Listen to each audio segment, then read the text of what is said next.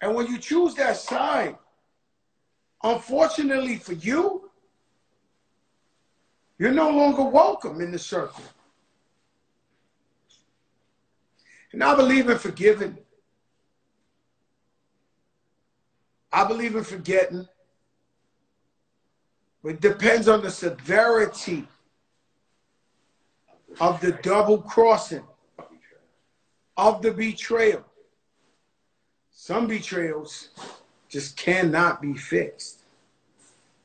I pray for you. May God bless you. But you standing next to me ever in life again, it'll never happen. If somebody put pyramid, I'll tell you one thing, guys.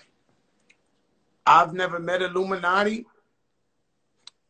and I wish I did, because I'd be a billionaire. So, um, you could dream, you conspiracy your your your your mind to the moon. If you ain't make it, it's because you ain't get up off your ass and work. It's no uh, Illuminati and this like. You just ain't work. And so everybody has the same 24 hours in a day.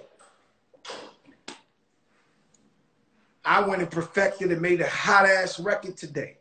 Now I'm on the show with you. And so I work. And so you got to work. So everybody got the same 24 hours in a day. What are you going to do?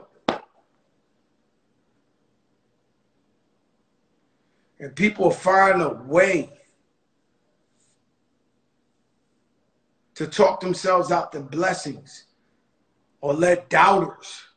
You know, sometimes you can have best friends and family that they might be scared of your growth. And so they do things to cast doubt in you. Sometimes they might even like subliminally sabotage you.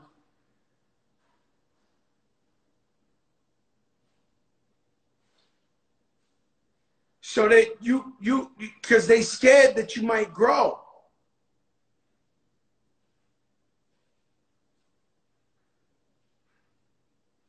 The harder you work, the luckier you you get. Period. This is from a Billy who just texted And so the thing about Fat Joe is he evens the playing field. You got billionaires watching the show. You got street dudes watching the show. You got nine to five people watching the show. There's some people really doing real, real bad right now. Just want some inspiration. Even with me and Khaled, we said we doing a fans only. I know chicks is twerking their ass, busting it open, whatever you want. That ain't what we about. And then once again, this says a lot about you. Yo, oh, what are those two doing? Like, yo, bro, you know we ain't doing no shit like that. All we try to do is motivate the people on a different platform and give you some form of inspiration. Because as a community, we only as strong as everybody in the community. Same thing with the crew.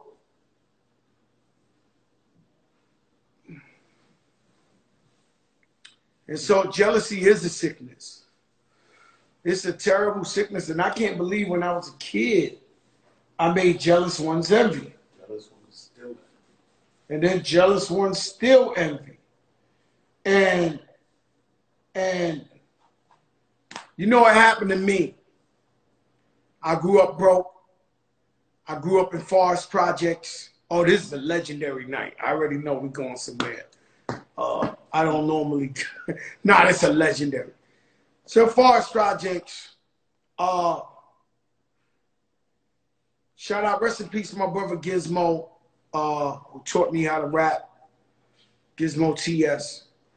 And um, so there was guys I grew up with that were better than me in rapping, but they didn't want to do what it take. They didn't want to put in the work. I went to Apollo Theater. This after, so you got to understand, I don't lie. You can back up everything I say. This is after I'm making bread in the streets, one of the most respected guys in the streets. And I go in a turn, play myself. The other guys I used to get money with was like, yo, bro, you playing yourself. And I was like, yo, rap music is how I'm gonna make it. So I go to amateur night at the Apollo. Mind you, every dangerous guy in New York City came up in there to watch me perform. I'm keeping it a thousand. Anybody was there could not believe the guys who never come up out the caves came out like, yo, we gonna support my brother Joe Crack. And so I go in there. I really don't know why, other than God, but the minute I step out, I'm dip fresh, I'm dapper Dan out, guys. The minute I step in the crowd, the crowd just goes crazy. Shout out my brother Money Man, because full flex, rest in peace, he got thrown out the Apollo. Because he was screaming so much, he didn't even get to see me perform. They threw him out because he was going too crazy. And we were wild boys. My brother, the Money Man, I love you, June. He was going crazy. Now he is whistling. My brother got this loudest whistle.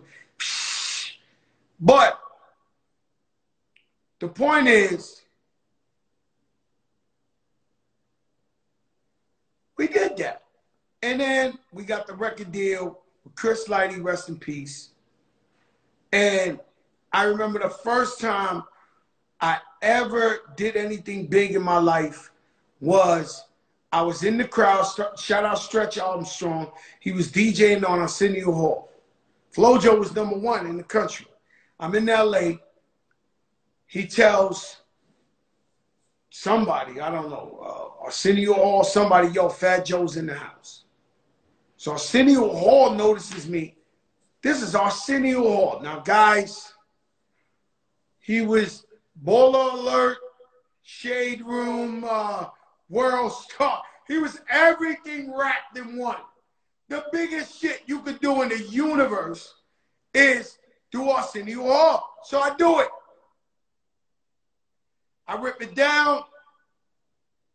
I rush back to New York. I might have took the red eye, canceled the whole shit because I couldn't believe so.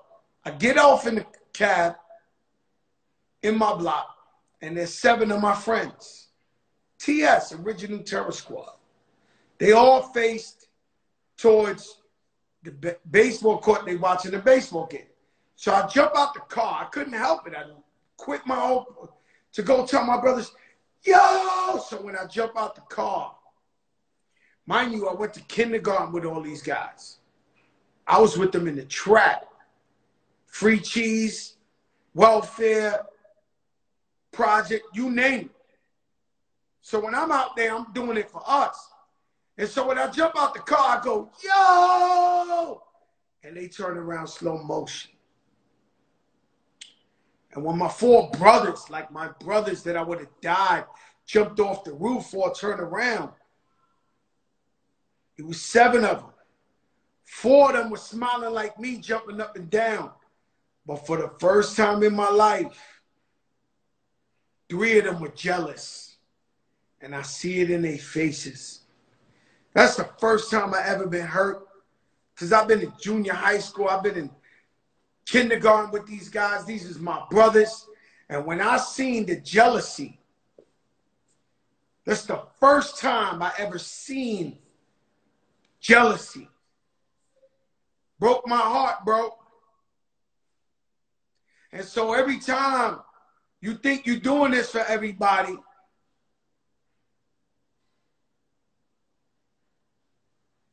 not everybody's happy for you.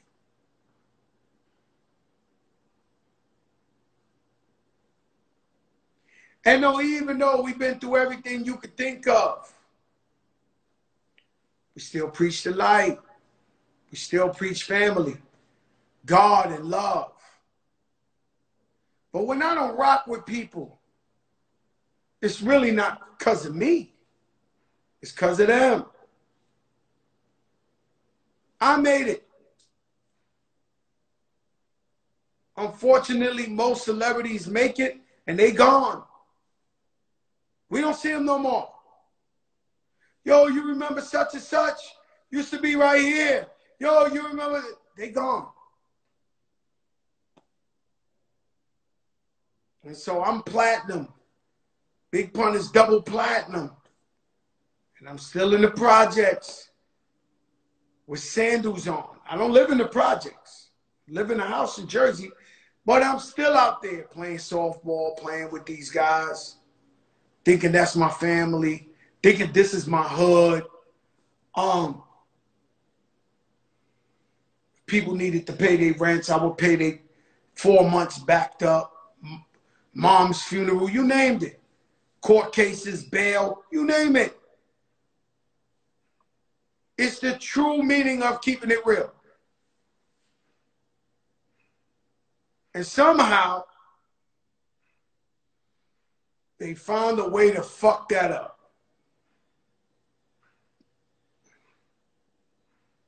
You had what we call a diamond.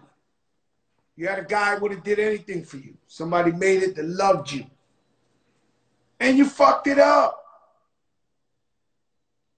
Unloyal. Crossed the line. Downright disgusting.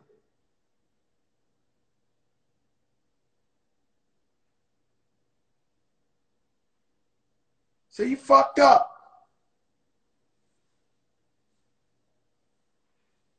And when I talk to Khaled, Khaled says, Man, when you met me, you got a diamond. I said, I said, yeah, I got a diamond with you. And you know, I love going in my brother's house and the ceilings is to the sky. And everything's white and it's marble. You know, you drive in his house, he hates for me to talk like this. He's too humble. But when you drive in his house, the whole driveway is all white marble. Pull up shit. Look, we call it the resort. And I'm just so proud. Or when Dre FaceTimes me and his house got fucking grass on the side of the wall, the ceiling. You know how tall Dre is? He looks like a midget in there. So when Remy's in her indoor pool with her husband and my goddaughter. There's nothing better than that. When my Uncle Dan lives in the fly penthouse. There's nothing better than that. My brother Slow is buying new white marble for his kitchen and it's nothing better than that.